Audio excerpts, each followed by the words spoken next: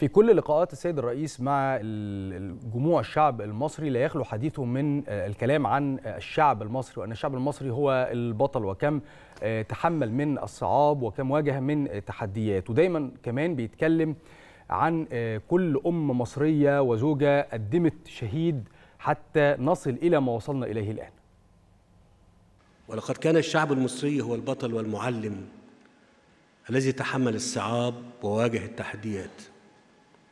لذا فإنني أوجه كل تقدير وامتنان لكل أم مصرية وزوجة وابنة قدمت الأب والأخ والزوج والابن شهيدا كي تهب لنا الأمان الأمان والوطن.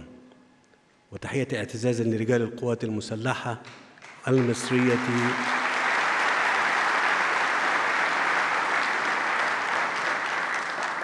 وتحية اعتزاز لرجال القوات المسلحة والشرطة المدنية الذين وهبوا لمصر الأمن والأمان وتحية لكل علماء مصر ومعلميها وعمالها وفلاحيها ومثقفيها وإعلاميها كل في موقعه كان بطلا من أبطال هذا العقد الفريد من عمر الوطن.